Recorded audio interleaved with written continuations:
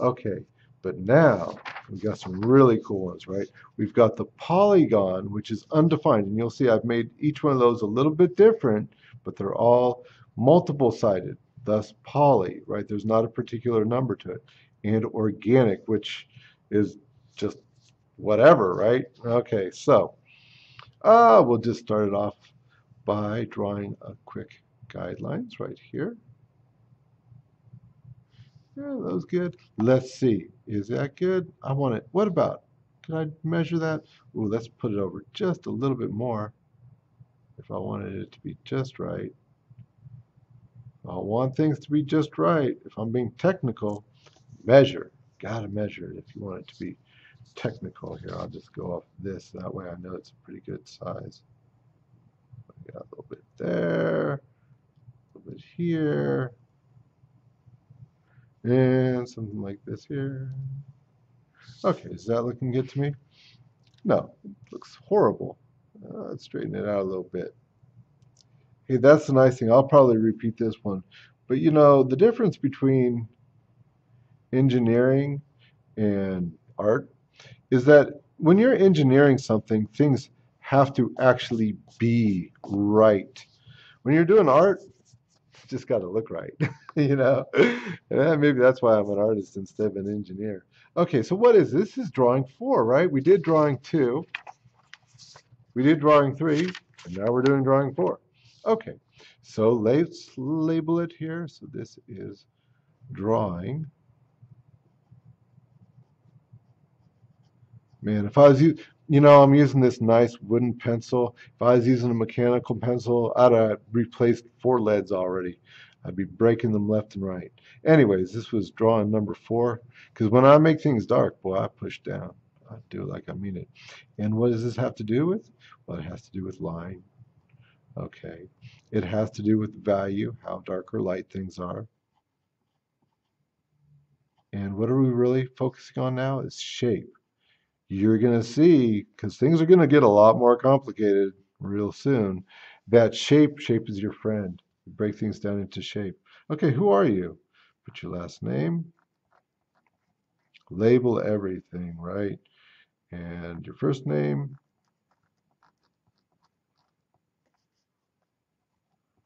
Forgot how to write my name. Okay, and then we've got uh, period. Okay, I don't know, what are we, period 12. I don't know. Period 7. We'll do period 7 and period 3. Was that what we were doing? Something like that. Okay, and then what's this? This is exercise number 4. I know they're all along the same lines, right? They're all line, value, and shape. But that's the fourth one you've done. So when they're all stapled together, I can just go through, oh yeah, one, two, three, four. All right, very easily. Okay, so polygon, let's see, let's label it. Polygon, as in more than one side polygon. Okay, and so, like I was saying, a polygon could be basically square. I mean, you could just, a square is a polygon of sorts, but it could be undefined. So you can see how, you know, I've got one side is taller than the other. They're at different angles. They're not necessarily parallel at all. That's my polygon, nice and light. Okay, and we're going to write light or try and draw or write neatly. Better than I'm doing, hopefully. Okay, a polygon could have curved sides to it. So let's say, what if I did this one? This has got a curve here and maybe a curve right here. And your polygons could be totally different than mine, right? And it could have more than four sides. It could have an undefined number of sides there. So that's my medium. Let's make it a little bit more medium than that. Alrighty then. There we go. Okay, and then finally a dark one. Well, that was medium. Let's write that. Okay, a dark one. So it could have a combination. So you could have like, let's say, some nice um, straight lines, no problem. You could have some curved lines, some more straight lines, however many lines you want. And that could also be a polygon right there. Okay, I'm going to darken that up because this is dark. Dark, dark, dark. Okay.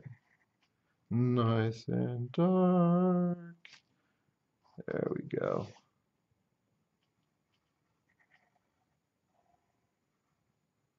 All right, if I make a mistake on these dark lines, I'll just have to pretend like I meant it because I'm not erasing those. These ones easy, right? But those ones, no way. Okay, and this is dark.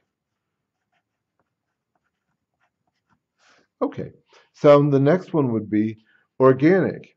Now, on my first one, I drew a poo-poo. I don't know if you could see it, but I figured that was just kind of funny for organic. But maybe, maybe it's not a poo-poo. Maybe it's an ice cream. I go to Japan a lot, and it's hard to tell the difference of which one's which. So, you know, so here we go. You know, I had this nice and light. And so here's just my little shape right here. Right. Okay, and that's my little shape that's organic, and I'll just label this as being light. Okay, but what, what about a puddle, let's say, a puddle of water? And so here we go, just any old shape. Doesn't matter, right? There's your organic shape right there. I'm going to darken that up a little bit because we want medium. So follow my lines. Pretty good. Not bad. A lot of curves in this one, boy.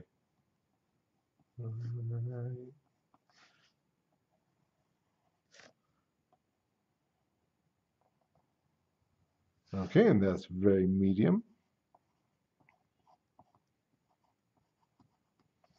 Okay, and how about dark?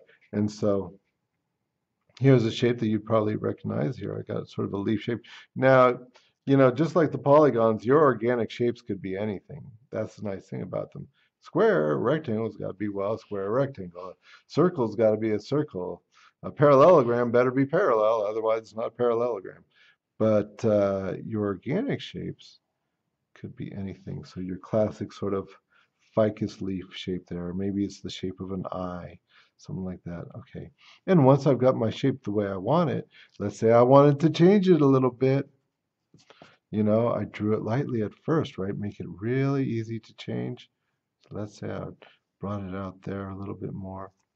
It was just fine the first time, but there it is, right?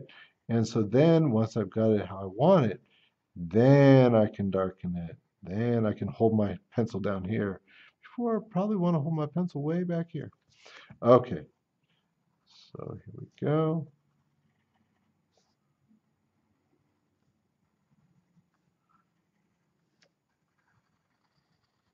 And that is dark.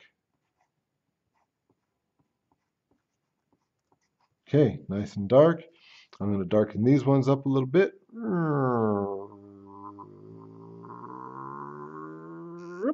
Okay, and even here.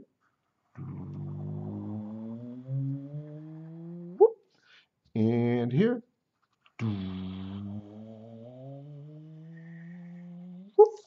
And even here. I don't think I did that on the other ones, but eh, what the heck. As long as it's neat, you know. Okay. Alrighty. So, and this was exercise four. So what I'm looking for is I want three, three good ones from this set here. So what do we got? We got exercise one, which was your square and circle. Uh, or it's exercise one. Exercise two, excuse me. Exercise two. Exercise three, which was your triangle and your parallelogram. Make sure that it's nice parallel. And exercise four. And those are your shapes. And those shapes are going to come in real handy when you actually want to start, well, you know, drawing things.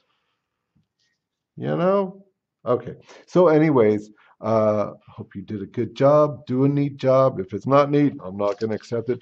You know why? Because why? Why do I want to waste my time and your time? Right? If you're going to do something, do it like you mean it. I want you to get something out of it. I really do. Okay, well, that's about it for this tutorial.